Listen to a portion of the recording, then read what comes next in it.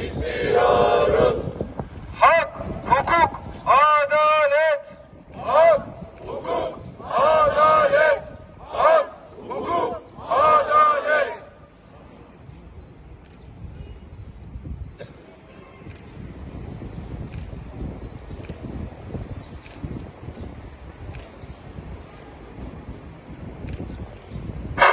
Arkadaşlar herkese merhaba.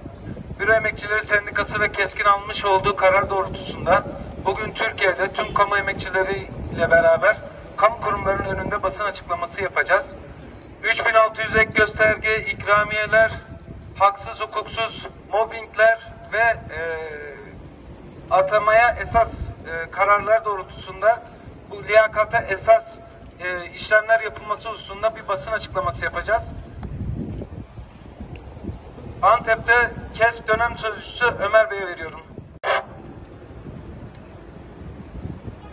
Değerli arkadaşlar, değerli kurum temsilcileri, değerli basın emekçileri, basın açıklamamıza hoş geldiniz. Boş vaatlere karnımız tok. İnsanca yaşam ücreti, güvenceli çalışma istiyoruz. Siyasetin gündemi 14 Mayıs'ta yapılacak seçimlere kilitlenmiş bulunuyor. Emeğiyle ge- geçim mücadelesi veren kamu emekçileri, emekliler, işçiler, milyonlar olarak bizlerin temel gündemimiz ise geçim derdi olmaya devam ediyor.